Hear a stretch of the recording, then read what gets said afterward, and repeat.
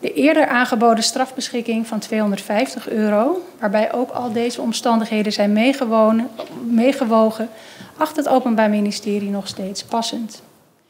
Daarom vorderen wij eh, in alle zaken vernietiging van het vonnis en opnieuw rechtdoende dat uw Hof bepaalt dat de strafbeschikking wordt vernietigd en er een geldboete wordt opgelegd van 250 euro, waarbij uh, in geval deze niet wordt betaald uh, er vijf dagen aan vervangende hechtenis tegenover staan.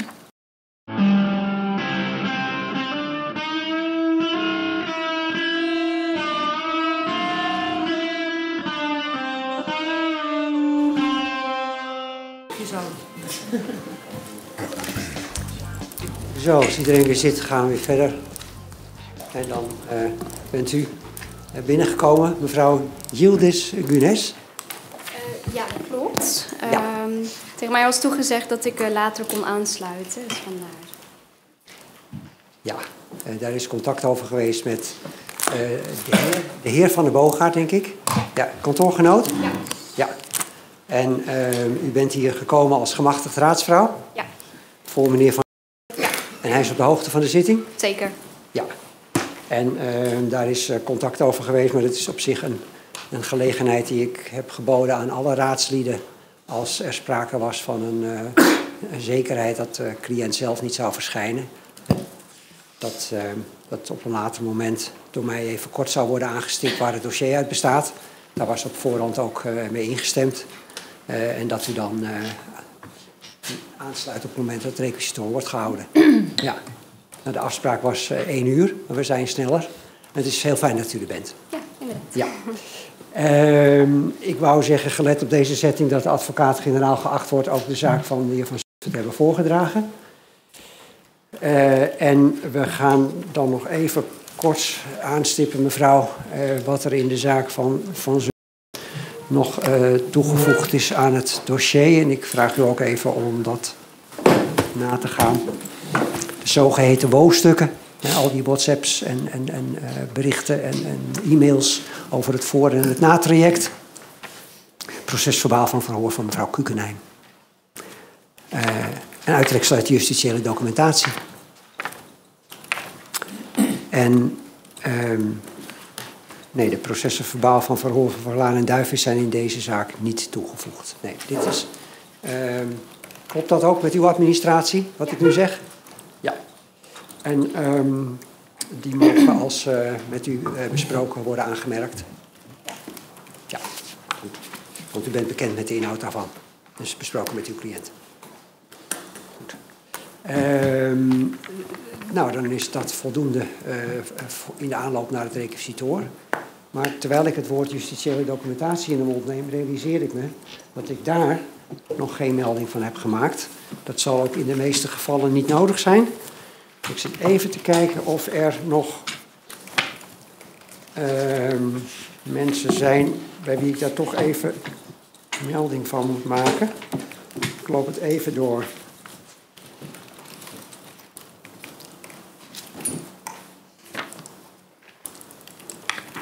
Ja, het strafblad kan er soms wel zijn, maar dan is het misschien niet zo relevant. Uh, ik maak er melding van mevrouw deed het eigenlijk zelf al, hè, dat er, uh, er is een, uh, een vrijspraak in uw geval... als het gaat om de demonstratie van 20 maart 2021. En zal ik even wat ik net voorgelezen uitleggen? Oh ja, ja.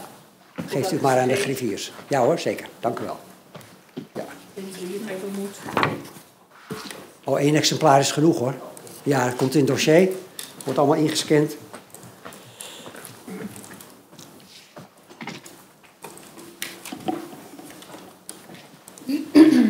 Nou ja, ik ben meerdere keren aangehouden en drie daarvan, twee vrijspraken en één is beslist dat hij onterecht was. Oh. Oh, dan is dat al meer dan wat ik hier in het dossier heb, mevrouw. Ja, van 24 januari ben ik vrijgesproken van in september, met Prinsjesdag ben ik vrijgesproken. Prinsjesdag ook? Ja, en daartussenin was 4 april geloof ik. Het was een onterechte aanhouding. Ja, ja. Dat hebben ze bij voorbaat al... Uh... is een CPO geworden. Ja. Juist. In, in het geval van meneer... Er uh, geen, geen veroordeling. Nee. In het geval van eh, meneer mevrouw Yildiz kom ik in ieder geval wel een aantal stevige verkeerszaken tegen. En dat leidt ook, eh, omdat er een recent vonnis van de politierechter is, tot eh, eh, toepassing van artikel 63. In het geval het tot strafoplegging zou komen. En in het geval van meneer ehm, is er een strafbeschikking uit 2023.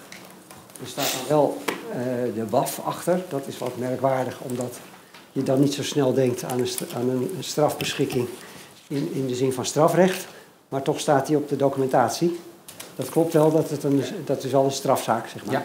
ja. ja. En die is onherroepelijk, heb ik hier genoteerd. In ieder geval, dat leidt ook tot toepasselijkheid van artikel 63. Het is allemaal een beetje voor het archief, maar ehm, ik wil het toch maar gezegd hebben. En verder, ik zei het al in een aantal gevallen, wat oudere strafbare feiten eh, bij sommigen van u. En ik zie hier ook bij meneer nog een vrijspraak. En die heeft te maken met de demonstratie van 28 februari 2021. Klopt, dan moet het vernietigd worden als er een vrijspraak is. neem ik aan. Wat zegt u? Microfoon? Eh, Ik dacht dat eh, als het een vrijspraak is, dan wordt het vernietigd, toch? Zeker. Oké. Ja, de strafbeschikking. Als er sprake was van een strafbeschikking, wordt die vernietigd. En dan volgt er vervolgens een vrijspraak. Ja, Maar wordt het, eh, dan wordt het, eh, document, eh, wordt het eh, documentele gedeelte ook vernietigd, neem ik aan. nee. Nee, er staat een vrijspraak. Oh, Daarom weet ik het. oh oké. Ja? Ja. Weer wat wijzer, meneer. Ja, dank u. Nooit oud moeten leren. Ehm, goed, dat was het. Requisitor. Advocaat-generaal.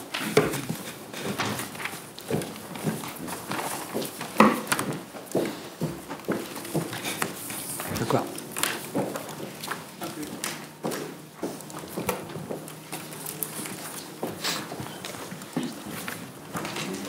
Keuken thuis. Oh ja. Heb je Ja, heb je het niet? Ja, even thuis. Even Ja, nee, maar gewoon dat je zo omhoog kan. Ehm,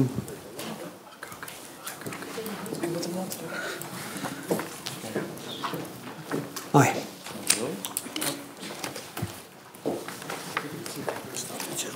Eh, een vraag, Eh, meneer de voorzitter.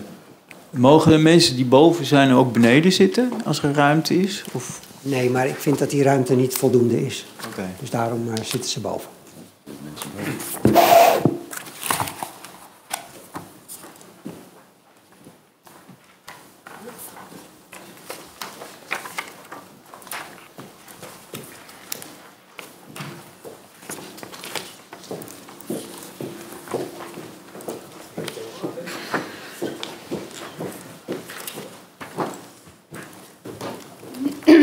Voorzitter, zou ik ook eentje mogen? Een, een, Nee, u heeft een advocaat.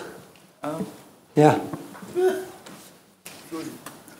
Verschil moet er zijn. Goed. Edel, groot achtbaar, college meneer de voorzitter, eh, mevrouw de griffier en alle andere aanwezigen.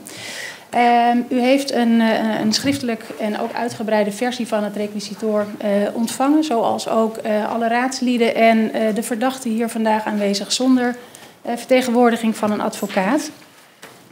Ehm, het requisitoor is een vrij uitgebreid verhaal, bevat ook eh, vrij lange juridische eh, overwegingen. En eh, wij zouden u eh, willen voorstellen om vandaag het requisitoor niet eh, integraal voor te houden, maar eh, te volstaan met de essenties daaruit. Eh, en in die zin een eh, min of meer samengevatte vorm aan u voor te houden. Eh, waarbij ik dan wel nadrukkelijk het verzoek wil doen om het integrale requisitoor, zoals dat ook aan een ieder is verspreid en ook aan uw hof zo, zojuist is verstrekt, om dat wel als voorgedragen te beschouwen. Ik vind het een goed idee. Ja. Dus ik zou dat eh, Ja. meteen inwilligen. Dat, En de eh, delen die dan voorgehouden gaan worden, voor alle duidelijkheid, dat zijn de delen die in deze tekst, eh, in grijze tekstblokken, zijn opgenomen. Dus ehm, dan is ook helder wat wel is uitgesproken en wat niet is uitgesproken, maar wel als zodanig ja. zal worden beschouwd. Maar de rest is dan ook uitgesproken. Maar Zeker, dan, doordat precies. u het, schriftelijke document overlegt, ik denk dat, dat iedereen dat waardeert. Ja. Ehm, een aantal verweren dat in het requisitor is opgenomen en is uitgewerkt, is in cursief uh, vermeld. En daarover wil ik de opmerking maken dat dat verweren zijn die het Openbaar Ministerie uh, nou ja, heeft voorbereid, omdat in de aanloop naar de zittingen uh, daar eerder door verdachten een, een beroep op is gedaan. Uh, ik heb met zoveel woorden niet al die verweren ook vandaag ter zitting opnieuw uh, teruggehoord. En dat maakt dat wij daar uh, ervoor hebben gekozen om dat in cursief op te nemen. Die delen zullen nu op dit moment ook niet worden besproken, maar eventueel bij een repliek aan de orde kunnen komen. dan nog een opmerking gemaakt over de verhoren die hebben plaatsgevonden bij de raadsheer commissaris van de politiemensen Duivis en Verlaan. Uh, dat is vandaag op de zitting al aan de orde gekomen. Die verhoren hebben niet plaatsgevonden in alle uh, zaken. En daar waar er in het requisitor naar die uh, verklaringen wordt verwezen, wordt dat deel geacht te zijn uitgesproken en voorgedragen alleen in de zaken waarin die processen verbaal ook deel uitmaken van het dossier. En voor de goede orde merk ik op dat in de uh, samengevatte versie, waar ik mij zo dadelijk uh, toe ga beperken, deze verhoren geen, uh, of niet aan bod komen. um, dan verder nog een, een opmerking. het is goed om te benadrukken dat er ja, toch niet wordt ontkomen aan een deels, het houden van een deels juridisch betoog. Uh, er zal ook een aantal delen uit de processen verbaal worden voorgehouden, waarin wordt gesproken over een sfeer die door de politie is waargenomen, waarin de verdachten hier uh, vandaag ter terechtzitting aanwezig zichzelf uh, mogelijk niet zullen herkennen. En ik kan mij voorstellen dat dat ook wellicht emoties oproept. toch vraagt wel de beoordeling van de zaak om ook die delen uit het dossier met uw hof te bespreken. En ja, waar het om gaat is de beoordeling of het noodbevel rechtmatig is. En het gaat hier niet om de inhoud uh, van de demonstratie en ook niet de intenties waarmee mensen naar de demonstratie zijn gekomen. En het Openbaar Ministerie heeft vandaag wel goed gehoord wat daarover door de verschillende verdachten naar voren is gebracht. Uh, en wij willen ook aannemen dat die intenties uh, zo hebben bestaan. Maar ik wil dat wel op voorhand gemeld hebben. Er zullen ook delen aan de orde komen die vanuit de politieprocessen verbaal deel uitmaken van het dossier. Ja, dus denk ik heel goed dat u dat zegt, mevrouw advocaat-generaal. Ook voor het goede begrip bij, uh, bij de verdachten. Mm -hmm. He, dat, um, wat u eigenlijk zegt is, ja, u heeft hier duidelijk begrepen dat de meeste van de mensen hier vinden dat ze op principiële gronden zich moeten verzetten tegen dat vonnis van de politierechter. Dat betekent ook dat u op die principes ingaat. Uh, vanuit het perspectief van het Openbaar Ministerie. En ik denk dat iedereen goed begrijpt dat, uh, dat u dat ook vooral moet doen vanuit de taak die u heeft. Precies, en dan ja, is daar vervolgens vanuit een ieder weer een reactie op te geven. Ja? Duidelijk. Ja, dank. Goed. Um, de vraag waar het Hof zich over heeft te buigen is of de verdachten uh, die zich voor uw Hof dienen te verantwoorden zich schuldig hebben gemaakt aan overtreding van artikel 184 van het Wetboek van Strafrecht. En de politierechters, 14 in totaal, u heeft het vandaag ter zitting benoemd, die over hun zaken oordeelden, concludeerden van wel en kwamen tot, strafoplegging. En tegen deze veroordelingen richten zich de ingestelde appellen. En de belangrijkste rechtsvraag waarover het Hof zich heeft te buigen is of op het op 28 maart 2021 door de loco-burgemeester gegeven noodbevel rechtmatig is en of de inzet van dat middel op die bewuste zondagmiddag de proportionaliteits- en subsidiariteitstoets kan doorstaan. Het niet voldoen aan een bevel of vordering, als bedoeld in artikel 184, vereist, uiteraard, dat het genegeerde noodbevel rechtmatig is gegeven. Wanneer is een noodbevel rechtmatig gegeven? Om die vraag te beantwoorden is het noodzakelijk om de volgende vragen langs te lopen en te beoordelen. Wat zijn de voorwaarden voor het afgeven van een noodbevel? Welke andere middelen staan de burgemeester ter beschikking om in een acute situatie in te grijpen? Hoe verhouden die middelen zich tot elkaar? Wat is de omvang van, het, van de rechtmatigheidstoets van het noodbevel? En hoe was die situatie op 28 maart 2021? En was het noodzakelijk om op basis van het informatiebeeld en de actuele situatie op zondagmiddag 28 maart 2021 de demonstratie te beëindigen met een noodbevel? De burgemeester staan twee middelen ter beschikking om een betoging te beëindigen als daartoe aanleiding is. Artikel 7 van de WOM, dus de Wet Openbare Manifestaties, uh, schept de mogelijkheid tot het ontbinden van een demonstratie. En artikel 175 van de gemeentewet, daarin is het noodbevel beschreven. Overtreding van het eerste middel, dus het niet opvolgen van de ontbinding, levert een overtreding op. Het niet opvolgen van een noodbevel een misdrijf. Algemeen uitgangspunt is dat de WOM uh, geldt voor normale situaties en dat het noodbevel uitsluitend in uitzonderlijke situaties en extreme omstandigheden mag worden ingezet, waaronder in geval van een ramp. De COVID-19-pandemie is eind januari 2020 in Nederland aangemerkt als een ramp. Zie daarvoor pagina 11 onderaan van het requisitor en in het bijzonder dan ook de voetnoten 35 en 36. En dat betekent dat het noodbevel gedurende de COVID-19-pandemie, anders dan bij demonstraties in tijden dat er geen sprake is van een ramp, door de burgemeester als middel mag worden gehanteerd. Naast het verschil dat het noodbevel is bedoeld voor noodsituaties en de ontbinding uit de WOM voor normale situaties, is er ook een verschil in rijkwijde van de middelen. Het middel van de ontbinding op grond van de WOM kan alleen worden ingezet ten aanzien van de manifestatie. De wet zegt het eigenlijk al. En het middel richt zich alleen op de manifestatie als zodanig. Het noodbevel daarentegen is ruimer. Dat kan worden afgegeven voor een bepaald gebied, bijvoorbeeld het hele museumplein en de omgeving daarvan, en ook voor een bepaalde tijd. Dus ook nadat de demonstratie is beëindigd en uiteen is, loopt de noodbevel door en kan de situatie nog onder controle worden gehouden ten aanzien van alle verstoringen. Ook verstoringen die geen verband uh, houden of meer houden met de manifestatie. Er bestaat geen misverstand over in de wetsgeschiedenis, de rechtspraak en de literatuur dat de WOM een lichter middel biedt dan het zwaardere noodbevel uit de gemeentewet. En dat dus altijd eerst moet worden bekeken en geprobeerd om de situatie onder controle te brengen met een ontbinding op grond van de WOM. Dat is een dwingende volgordelijkheid. Pas als dat middel niet effectief blijft, mag worden doorgestapt naar het noodbevel. Tenzij op voorhand duidelijk is dat een ontbinding op grond van de WOM te beperkt is en geen soelaas biedt. Dan is denkbaar dat direct naar het middel van het noodbevel mag worden gegrepen. Of een burgemeester een noodbevel mocht geven en of hij de juiste volgorde heeft toegepast, is een vraag die de rechter moet beantwoorden. In beginsel is dat een summiere, marginale toets. En dat hangt ermee samen dat de burgemeester bij toepassing van de noodbevoegdheid vaak onder grote tijdsdruk en onder moeilijke, onoverzichtelijke omstandigheden moet beslissen. Rechters kennen hem daarom in principe een relatief grote beoordelingsvrijheid toe. Het daarbij gehanteerde criterium is of de burgemeester in redelijkheid tot toepassing van het noodbevel kon komen. Als het noodbevel is ingezet en met dit noodbevel inbreuk is gemaakt op een grondrecht, zoals bijvoorbeeld het demonstratierecht, dan is de toets uh, doorgaans wat indringender. Er worden dan tamelijk hoge eisen gesteld aan de zorgvuldigheid van het oordeel van de burgemeester en of er ook met lichtere middelen ingegrepen had kunnen worden.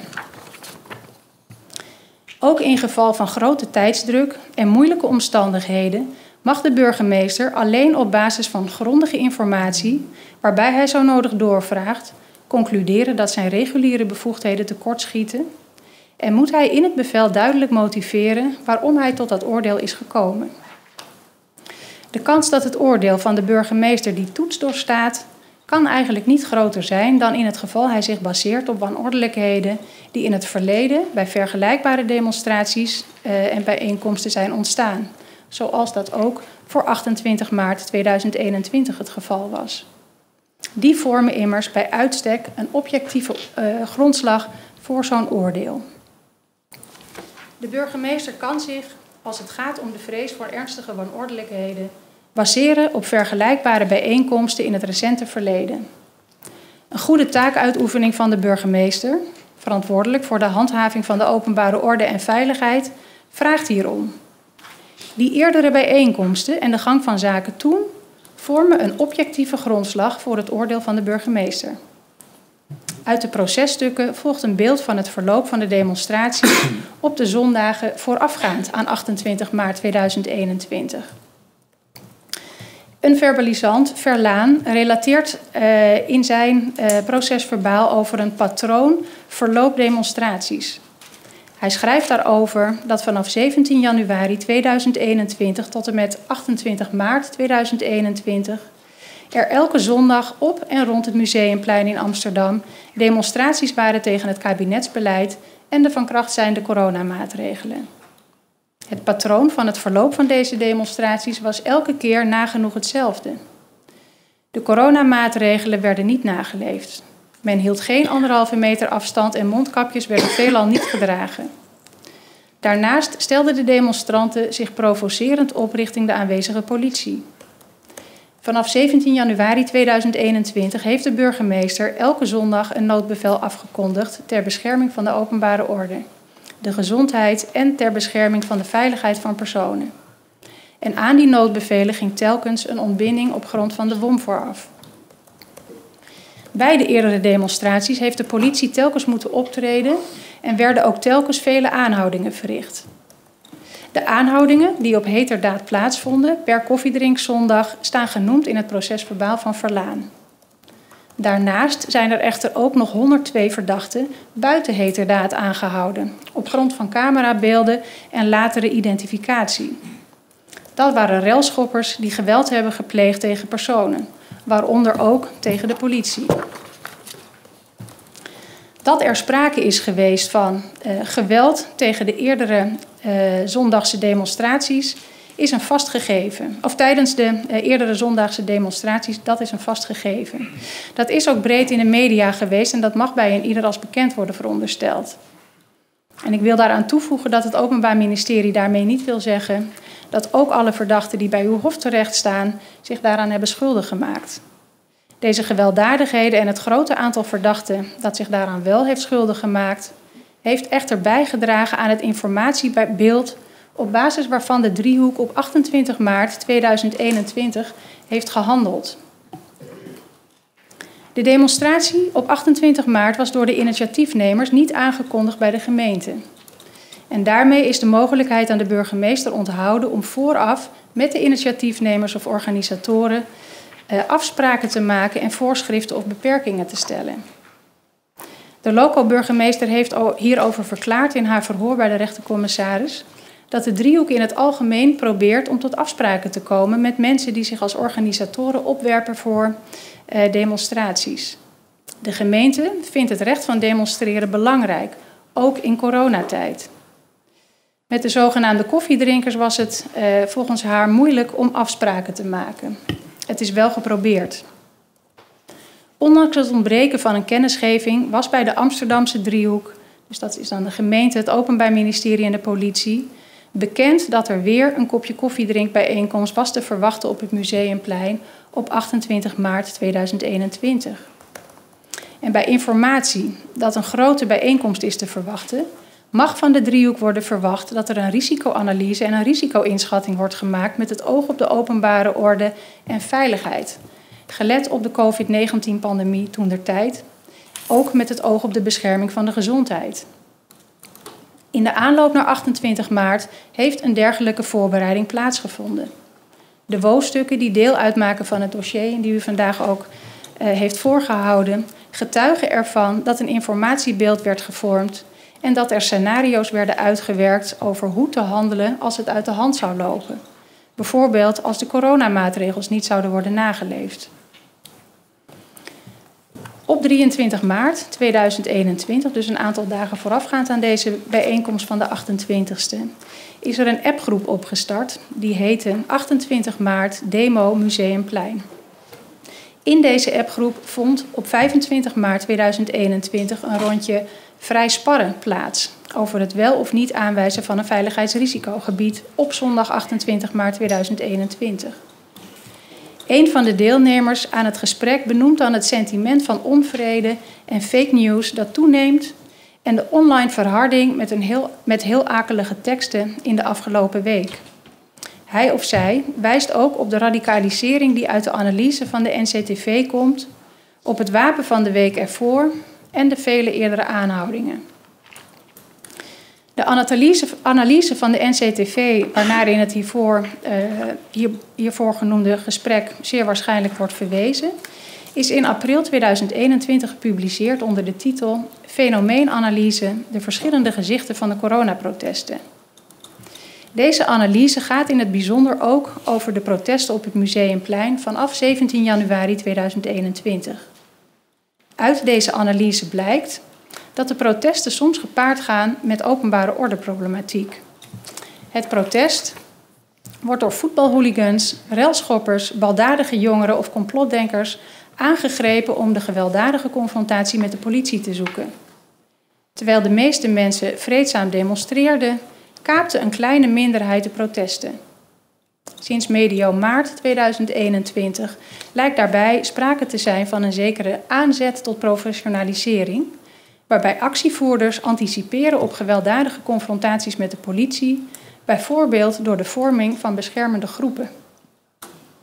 Verder staat beschreven dat sinds de afkondiging van nieuwe beperkende coronamaatregelen half december 2020 en de avondklok in januari 2021 de protesten weer grootschaliger zijn geworden en ook de ongeregeldheden zijn toegenomen. In de analyse wordt benadrukt dat er een verschil is tussen het gezelschap van personen dat doorgaans vreedzaam demonstreert tegen het coronabeleid en de hooligans en jongeren die als uitlaatklep, uit verveling of door een gebrek aan structuur doelbewust gaan rellen.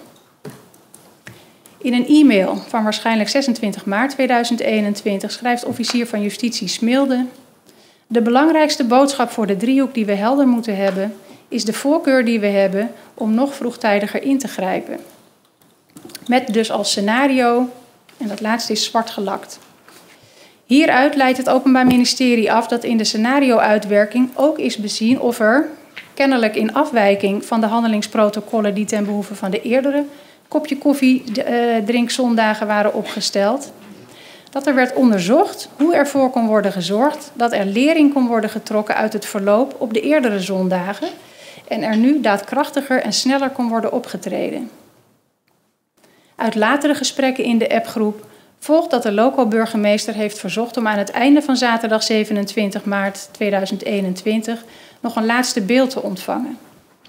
En dat gebeurt dan uh, iets voor zes uur uh, die avond. Dan uh, wordt in die appgroep het laatste informatiebeeld gedeeld. En de inhoud daarvan is ook zwart gelakt in de WO-stukken. Iets minder dan een uur na dit bericht stuurt de officier van justitie, mogelijk en ook waarschijnlijk in reactie op het laatste informatiebeeld dat kort daarvoor is gedeeld, dat er morgen, dus op 28 maart, toch weer gedoe is te verwachten. Dat er in de weken voor 28 maart 2021 vergelijkbare demonstraties hadden plaatsgevonden, waarbij het steeds tot een ingrijpen met een noodbevel was gekomen, neemt niet weg dat er ook op 28 maart 2021 weer sprake was van een uitzonderlijke situatie. De gebeurtenissen bij de eerdere kopje koffiedrinkbijeenkomsten deden immers niets af aan de onvoorspelbaarheid van het verloop van de gebeurtenissen op 28 januari 2021. Aan het karakteriseren van de omstandigheden als een noodsituatie staat evenmin in de weg dat het afkondigen van een noodbevel een van de mogelijke scenario's is dat is opgenomen in een van tevoren opgesteld handelingsprotocol. Het gebruik van een handelingsprotocol getuigt juist van een zorgvuldige voorbereiding. Als die besluitvorming daardoor maar niet puur op de automatische piloot gaat. Een noodbevel moet immers altijd op grond van het verloop van actuele gebeurtenissen kunnen worden gerechtvaardigd. Maar daarbij mogen ervaringen in het verleden wel degelijk een rol spelen. Op 28 maart 2021 zelf is de driehoek bijeengekomen en werden zij geïnformeerd over het actuele beeld op en rond het Museumplein. En deze informatie verkregen zij via de subdriehoek en via de algemeen commandant van de ME, die zelf aanwezig was op het Museumplein. Ook nam de driehoek kennis van livebeelden. Op 28 maart 2021 bestond de verkregen actuele informatie onder meer uit het volgende. Om 14 uur 4 werd een Divent IJmuidengroep van vijf personen waargenomen midden op het Museumplein. En voor een toelichting op de zogeheten defendgroepen verwijzen wij graag naar de voetnoot. Om 14.11 uur 11 werden er diverse kleine groepjes Ajax-supporters gezien rondom het Museumplein. Om 14 uur 18 werd op de livestream van Nederland in Verzet geopperd iedereen bommeldingen doen in Amsterdam.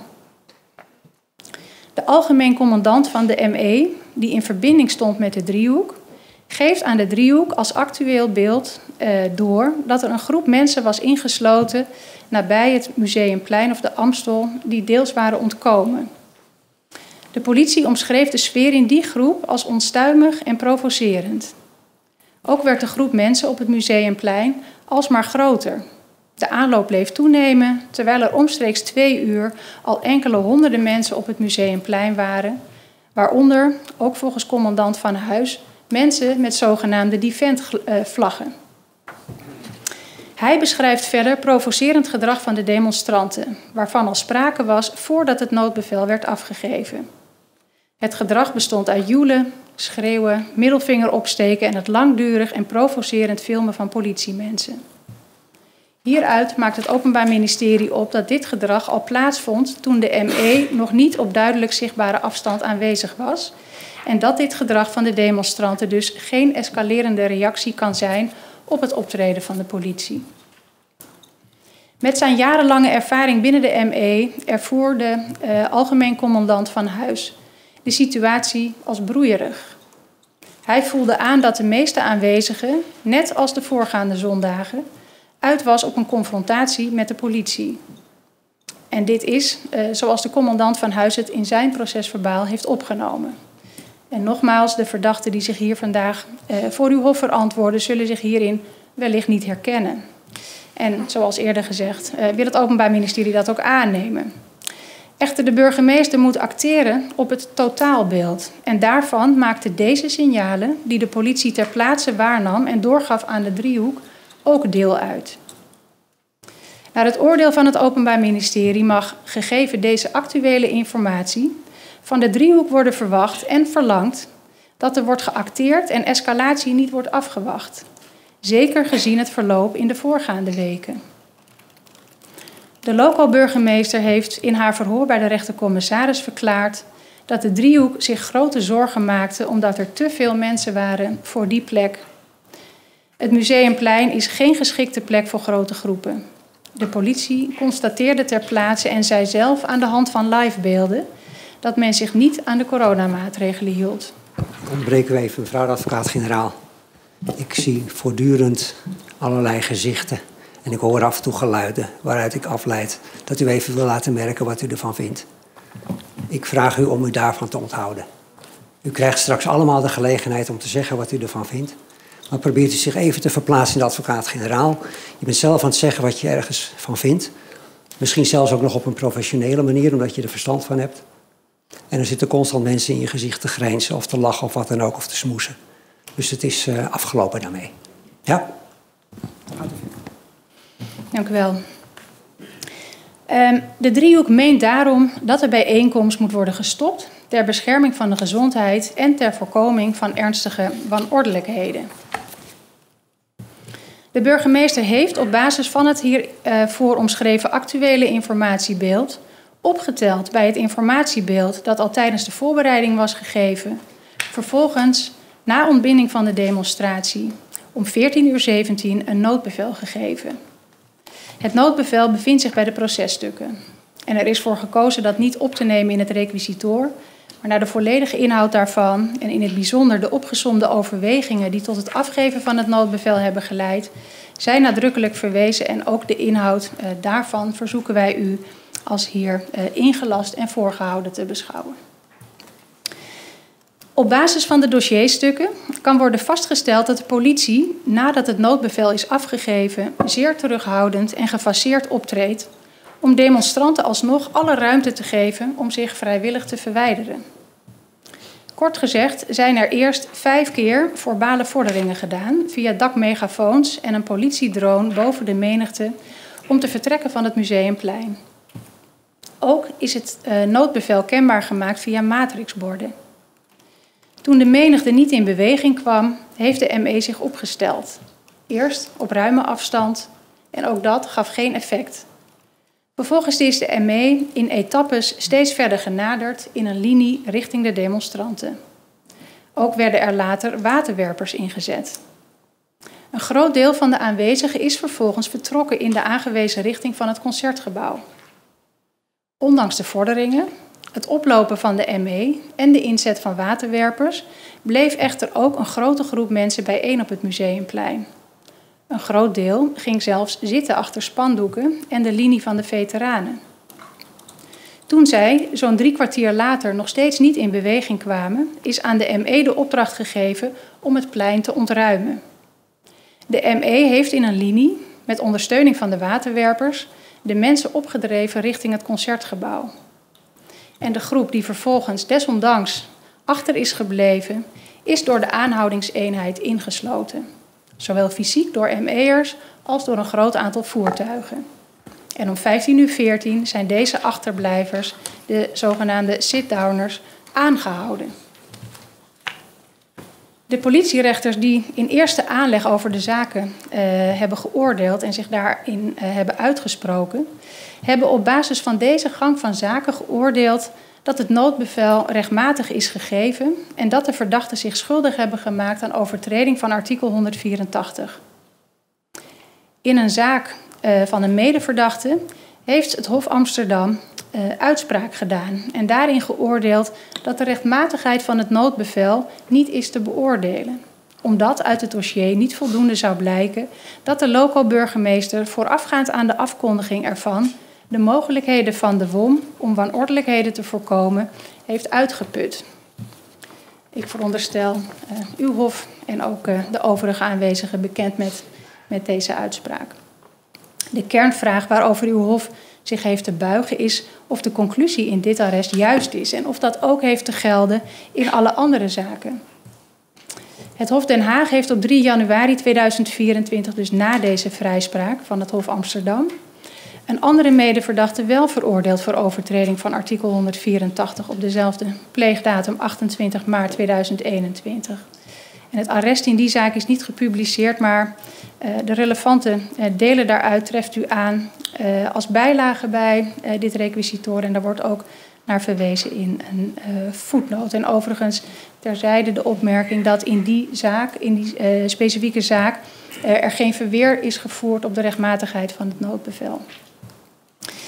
Naar het oordeel van het Openbaar Ministerie was er op 28 maart 2021 geen sprake van een normale situatie, maar van een uitzonderlijke situatie en van een ramp. Immers, er was sprake van een COVID-19-pandemie met in Nederland een nieuwe piek in het aantal besmettingen in uh, maart 2021. Een coronabeleid met strenge maatregelen ter voorkoming van verspreiding van het virus, waaronder de verplichting om anderhalve meter afstand van elkaar te bewaren. Er was sprake van een lockdown. Er was sprake van een onaangekondigde en niet toegestane demonstratie op 28 maart 2021 op een daarvoor niet geschikte plek. Er was sprake van een patroon van wekelijkse onaangekondigde verboden demonstraties op het museumplein onder de noemer kopje koffie drinken. Die in alle zondagen in de tien weken ervoor hebben geleid tot overtreding van de coronamaatregelen en waarbij het geregeld kwam tot rellen met de politie. In het bijzonder met een escalatie in het weekend voor 28 maart 2021. Bij de eerdere kopje koffiedrinkdemonstraties was de getrapte inzet van middelen telkenmale gebleken en bewezen niet effectief. Het heeft slechts geleid tot vertraging. De opkomst van mensen op het Museumplein op 28 maart 2021 was veel groter dan gemiddeld in de weken eraan voorafgaand het geval is geweest. Uit de aanwezigheid van oud-militairen voor de bescherming van de demonstranten, die in linie tussen de demonstranten en de ME plaatsnamen, is een signaal uitgegaan dat er door de demonstranten werd geanticipeerd op oproer en geweld, al dan niet tegen de politie.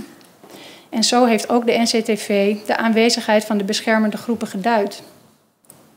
Ook het Openbaar Ministerie neemt de eerder besproken dwingende volgordelijkheid tussen de inzet van middelen, eerst de WOM, dan de gemeentewet, in normale situaties tot uitgangspunt.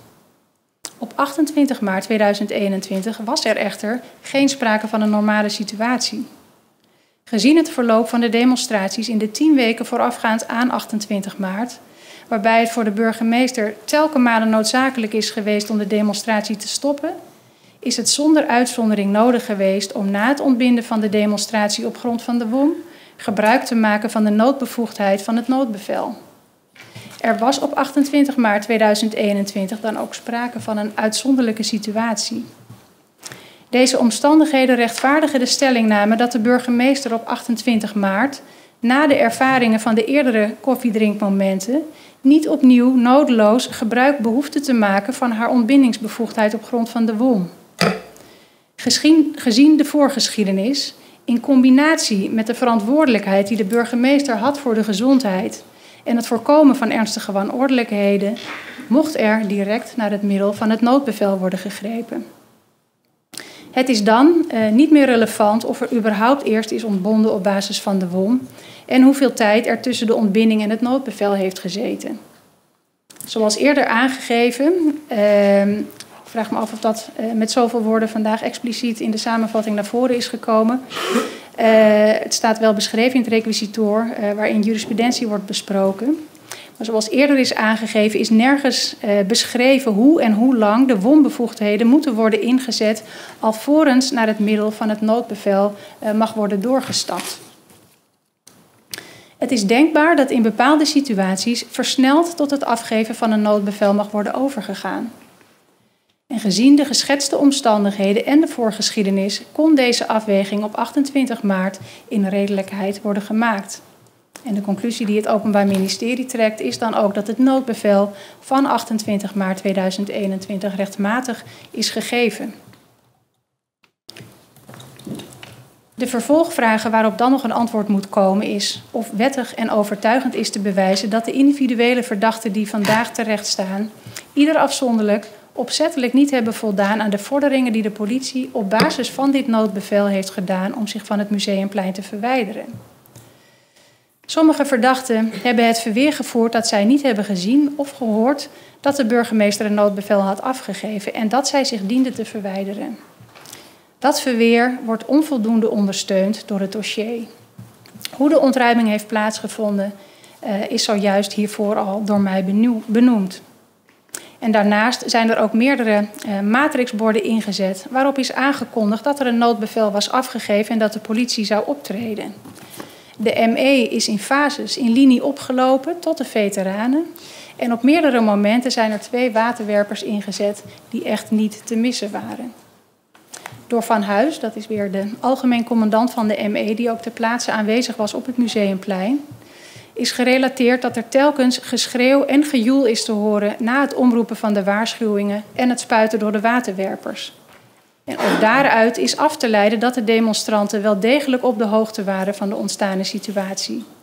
Het inzetten van waterwerpers en het oplopen van de ME in een linie kan moeilijk anders worden geïnterpreteerd dan een signaal en middel om de aanwezigen van het museumplein te laten vertrekken. Ook zijn er verdachten die het verweer voeren dat zij wilden weggaan en gehoor wilden geven aan het noodbevel, maar dat niet konden doen omdat de politie hen al had ingesloten. Het Openbaar Ministerie stelt zich ten aanzien van dit verweer op het standpunt dat, eh, zoals ook bij het voorgaande verweer is besproken en ook blijkt uit de eerder beschreven tijdlijn, eh, die staat op pagina 12 van het requisitoor, dat het geruime tijd duidelijk geweest moet zijn voor een ieder aanwezig op het museumplein dat de politie eh, optrad en dat eh, het museumplein moest worden ontruimd. Er is door de politie met terughoudendheid opgetreden en aan de demonstranten ruim de tijd en gelegenheid geboden om te vertrekken. Alleen de groep mensen die daaraan geen gehoor heeft gegeven, is uiteindelijk ingesloten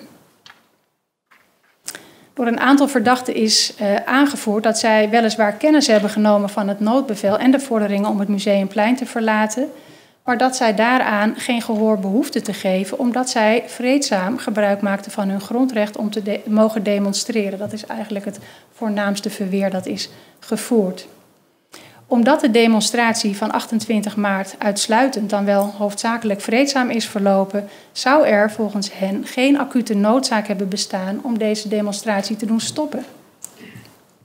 De verdachten die zich hierop beroepen gaan er echter aan voorbij dat met het vreedzame samen zijn, dat dat plaatsvond tijdens een lockdown en dat daarmee wel de coronamaatregelen werden overtreden, hetgeen een strafbaar feit oplevert. En daarmee was de gezondheid in gevaar. Bovendien was de demonstratie niet aangekondigd en vond deze plaats op een locatie die voor de hulpdiensten bij grote aantallen mensen niet geschikt is om de veiligheid te kunnen waarborgen. Dat de verdachte zelf slechts vreedzaam demonstreerde, doet bovendien niet af aan de rechtmatigheid van het noodbevel dat de burgemeester heeft gegeven op basis van het totale informatiebeeld dat hiervoor al is besproken. Waar het om gaat, is dat als eenmaal een noodbevel rechtmatig is gegeven en dus de actuele situatie ter plaatse vroeg om ingrijpen, ook vreedzame demonstranten daaraan gehoor hebben te geven. Alle verdachten uh, is het medeplegen van het niet opvolgen van het noodbevel ten laste gelegd. En enkele verdachten zijn ook voor het medeplegen in eerste aanleg veroordeeld, anderen zijn daarvan vrijgesproken. Het staat voor het Openbaar Ministerie vast dat alle demonstranten op zondag 28 maart bewust op het museumplein aanwezig waren. En daar was op dat moment evident sprake van een demonstratie. Getuigen onder meer de beelden op social media waarop een grote menigte is te zien en horen met onder andere protestborden, spandoeken, leuzen, beschreven paraplu's en megafoons. Er was sprake van een doelgerichte, doelgericht samen zijn tegen het kabinetsbeleid ten aanzien van de coronamaatregelen. En daarvoor was ook opgeroepen op social media onder het mom van kopje koffie drinken. Het gezamenlijk protesteren tegen de geldende maatregelen en het opkomen voor de vrijheid van de mensen impliceert een gezamenlijk optreden. Het doel van de demonstratie verbindt de groep demonstranten als geheel. Door als groep bijeen te blijven, hebben zij het de politie moeilijker gemaakt om de demonstratie te doen stoppen. Zij hebben, door bijeen te blijven, elkaar onderling, al dan niet stilzwijgend, aangespoord en aangemoedigd om de situatie en demonstratie ter plekke te laten voortduren. En dat zij elkaar hierover wellicht vooraf niet expliciet hebben gesproken en dat deze afspraak stilzwijgend ter plekke is ontstaan, doet niet af aan de bewijsbaarheid eh, voor het medeplegen. Het moet voor een ieder afzonderlijke verdachte volstrekt duidelijk zijn geweest dat door niet te vertrekken en dicht op elkaar als groep bijeen te blijven en zich als groep als geheel te laten insluiten, zij gezamenlijk het noodbevel en de daarop gebaseerde vorderingen van de politie hebben genegeerd. Naar de uiterlijke verschijningsvorm van het handelen van elke individuele verdachte en zijn of haar mededemonstranten is het medeplegen naar het oordeel van het Openbaar Ministerie gegeven. Een andere vraag is of met de aanhouding en de daaropvolgende periode van het ophouden voor verhoor sprake is geweest van een schending van fundamentele grondrechten, eh, waaronder die van de demonstratievrijheid, als neergelegd in artikel 9 van de Grondwet. En ook op het eh, grondrecht van vrijheid van meningsuiting, zoals beschreven in artikel 10 van het EVRM, en vrijheid van vreedzame vergadering, als beschreven in artikel 11 van het EVRM. Dat op deze rechten inbreuk is gemaakt op 28 maart is niet in geschil. De vraag is of de inbreuk toelaatbaar is geweest. De hoofdregel is dat alle gedragingen die door de formele wetgevers strafbaar zijn gesteld, ook strafbaar zijn tijdens een betoging. Dat volgt uit artikel 9 eerste lid van de Grondwet, waarin staat dat het recht op betoging wordt erkend, behoudens ieders verantwoordelijkheid volgens de wet. En in lid 2, waarin is bepaald dat de wet regels kan stellen ter bescherming van de gezondheid, in het belang van het verkeer en ter bestrijding of voorkoming van wanordelijkheden. Het demonstratierecht is dan ook geen absoluut recht. Het mag worden beperkt. Dat is niet alleen bepaald in artikel 9 van de Grondwet, maar ook in artikel 11, lid 2 van het EVRM, waar artikel 9 een onderdeel van vormt. De beperking moet volgens artikel 11 tweede lid wel in een democratische samenleving noodzakelijk zijn. In dat vereiste ligt opnieuw, volgens het Europese Hof, zowel de subsidiariteits- als een proportionaliteitseis besloten. Toepassing van een noodbevel eh, op grond van artikel 175 van de gemeentewet bij een demonstratie kan daarom geacht worden in overeenstemming te zijn met artikel 9 van de grondwet, indien de mogelijkheden van de WOM zijn uitgeput of geen soelaas bieden. En bij de beoordeling of een beperking in een democratische samenleving noodzakelijk is, toetst het Europese Hof vrij scherp aan de inbreuk, eh, vrij scherp of aan de inbreuk een redelijke beoordeling van relevante feiten ten grondslag heeft gelegen. Maar omdat de organisatoren van een demonstratie als actors in de democratic process mede verantwoordelijk zijn voor een goed contact met de autoriteiten, kan een beperking van de demonstratievrijheid volgens het Europese Hof wel eerder gerechtvaardigd zijn wanneer zij, zoals dat ook op 28 maart het geval was, dat contact hebben afgehouden en de burgemeester daardoor de kans op wanordelijkheden minder goed kan inschatten.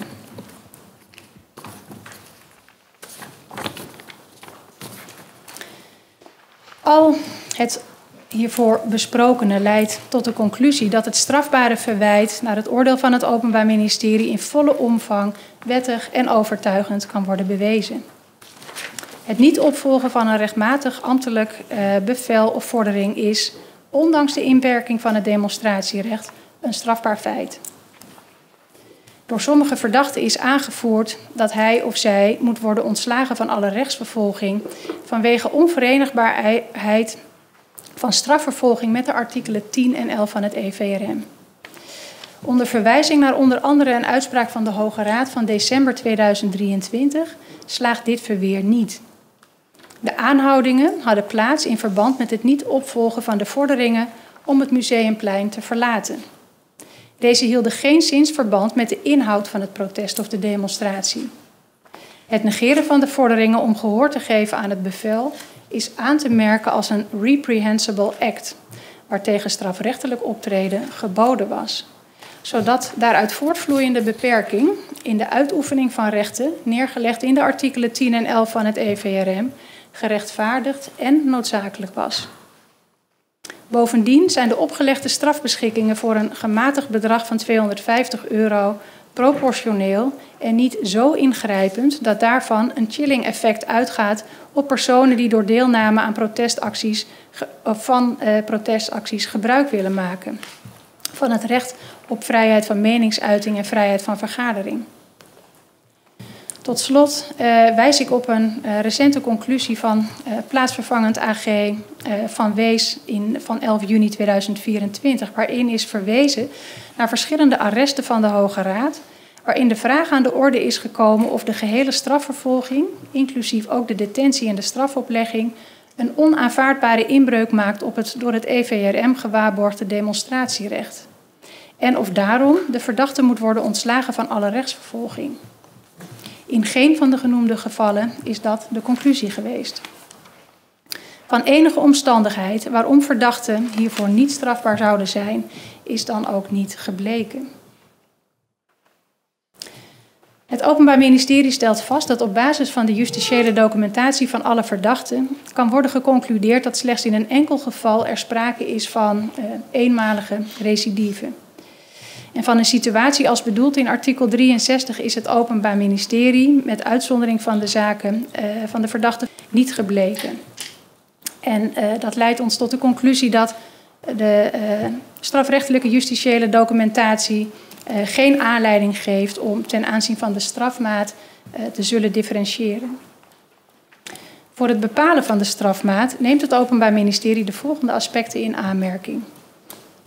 Aan de verdachte is op 28 maart een gedragsaanwijzing uitgereikt uh, die inhield een locatieverbod. Deze is later door de rechtbank uh, ongedaan gemaakt. Er is sprake geweest van een inbreuk op een fundamenteel uh, demonstratierecht, zij het geoorloofd. De verdachten hebben door de grootte van de groep arrestanten relatief lang moeten wachten op het overbrengen naar de plaats van voorgeleiding aan de hulpofficier van justitie. De verdachten zijn enige tijd vastgehouden op het politiebureau voor verhoor en identificatie.